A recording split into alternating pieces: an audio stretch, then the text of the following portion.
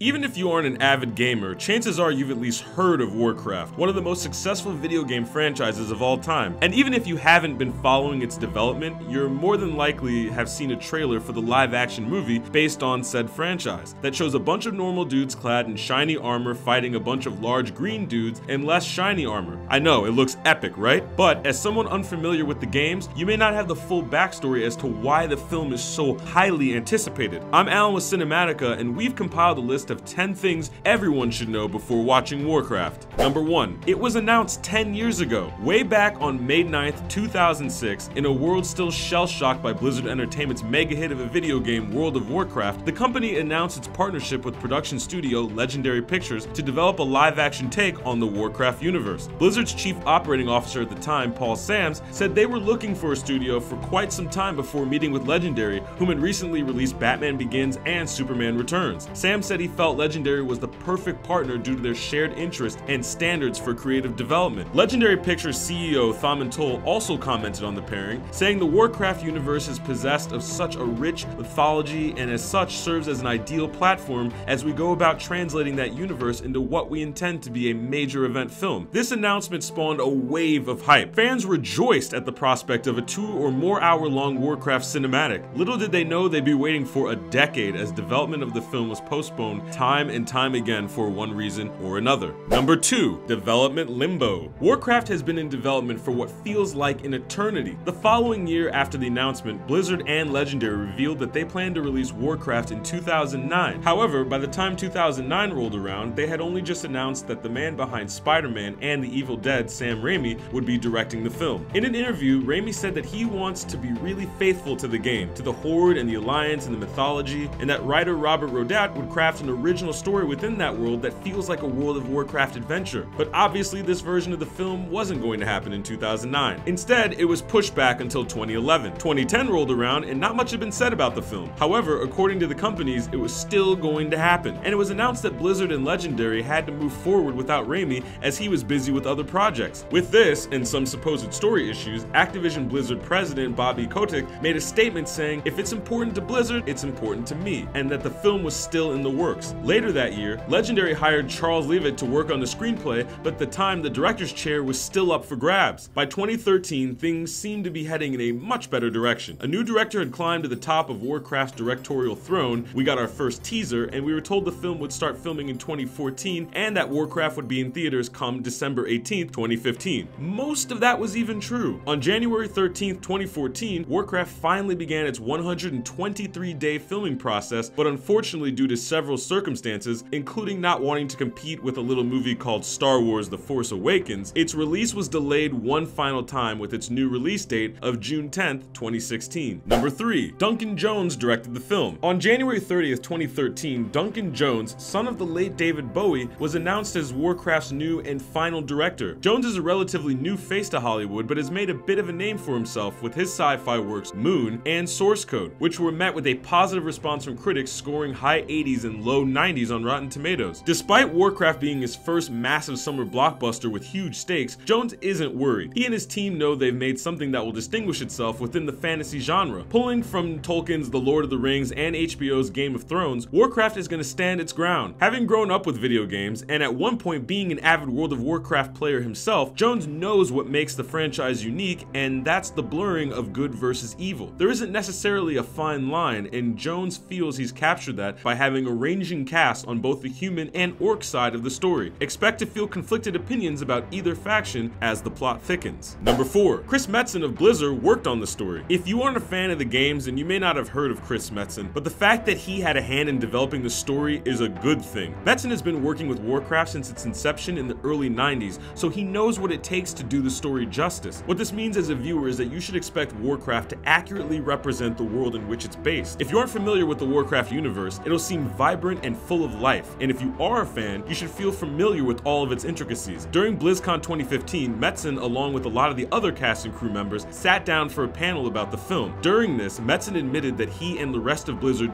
knew they were taking a risk with this movie and that it wasn't a very obvious choice, but the idea of expanding the game's story beyond the computer screen seemed too cool to pass up. With that in mind, he knew the story was of utmost importance and he felt the team and Duncan Jones did a great job converting the game's lore into something that works works well on the silver screen. Number 5. Internationally known as Warcraft The Beginning. It's important to remember that whether you're a fan of the franchise or not, Warcraft is going to have some origin story aspects to it. I know, I know, we've had a lot of origin stories recently, but it's pretty much a necessity for a story of Warcraft's magnitude. At BlizzCon 2007, Blizzard talked of their plans for the film's plot had been too similar to Lord of the Rings. As someone who has played the games, I'm not entirely sure how they thought that, but to address this issue, they decided to incorporate more plot points from the times right before World of Warcraft, which makes sense because that era has a lot of big names and fantastic stories. However, what this means for viewers is that there's going to be a lot of setting up. Not only should you expect to be shown how and why the orcs and humans became interlocked in seemingly endless war, but you'll also be brought along certain characters' beginnings, specifically Khadgar, a human mage who plays a very significant role in fighting the orcs, Garona, who believes she's half orc, half human, and Durotan, the leader of an exiled orc tribe whose son will later become a major player in Alliance Horde politics. Number 6. The film had a budget of over $100 million.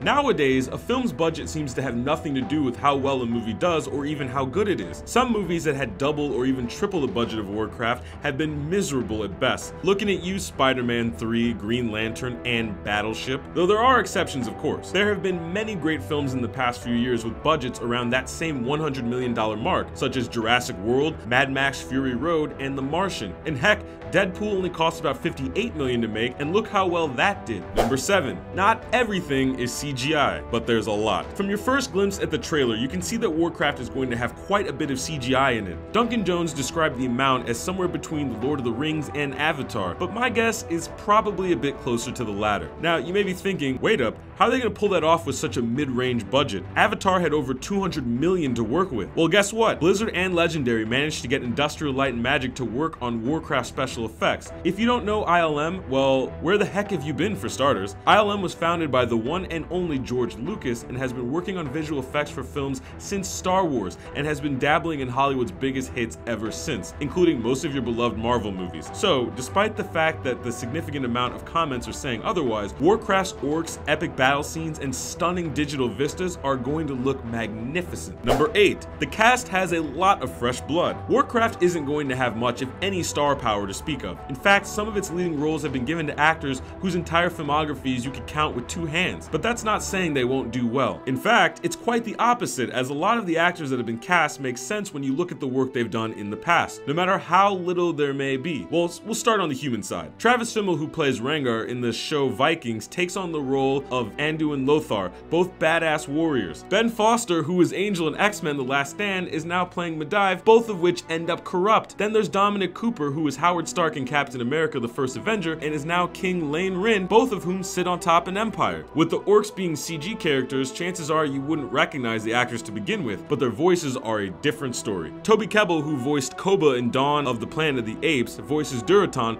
both rebels against their people, though for entirely different reasons. Clancy Brown voices Mr. Krabs from SpongeBob SquarePants and now takes on Blackhand. Robert Kazinsky, who played Chuck Hansen in Pacific Rim, is voicing Another badass fighter. And then there's Daniel Wu, aka Sunny from Into the Badlands, as Gul'dan, both of whom are very intelligent and very skilled at what they do. Oh, and then there's Paula Patton, who is in Mission Impossible Ghost Protocol, plays the hybrid non-CG orc Garona. Number 9. Warcraft isn't just for hardcore fans of the game. Of course, Warcraft is being made because the series has had immense financial success over the years and built up a fan base of millions for Blizzard Entertainment. But the company is also looking to make a film that even Warcraft virgins could get into. Duncan Jones explained in an interview with Entertainment Weekly that one of the reasons it took so long to get the film rolling was the extreme caution Blizzard had with creating something accessible by everyone. In one last comparison to Lord of the Rings, Jones says the making of Warcraft was similar to the position Peter Jackson found himself in when he was making the Fellowship of the Ring. There's always going to be a hardcore fan base, he said. That was going to take him to task if he didn't address things in a way that stayed true to the spirit of Tolkien's work. We have the same passion amongst our fans, so it was a similar job. Warcraft aims to be a balancing act in this sense, one that makes fans feel at home and also welcomes newcomers at the door. Number 10. Warcraft will break the video game movie curse. Let's face the facts. There have been a lot of attempts at movies based on video games in the past, and for one reason or another, they all turn out atrocious. In most cases, their only saving grace is the fact that you can laugh at how terrible they are. Mortal Kombat, Street Fighter, Double Dragon, Super Mario Brothers. Well, 2016 is looking to put a stop to that with not only Warcraft, but also Assassin's Creed. Duncan Jones made an astute point that not long ago, that same curse was associated with comic book movies, and now they're some of the largest grossing hits every year. It took a generation of filmmakers who loved and were raised on comic books to make movies that you actually cared and felt something for, he said. Jones actually grew up an avid gamer, starting out with an Atari, and now he's tapping into that passion as a filmmaker to create a narrative that will grab hold of viewers' interest and tap into their empathy using the World of Warcraft as source material. Thanks for watching the 10 things to know before watching Warcraft. Do you plan on seeing the movie? Let us know in the comments. And if you like this video, be sure to check out some of our other videos by clicking the annotations or links in the description. We have new videos dropping every week, so let us know what you want us to cover next. And if you like getting more from your movies and TV, subscribe to Cinematica, where we help you watch smarter.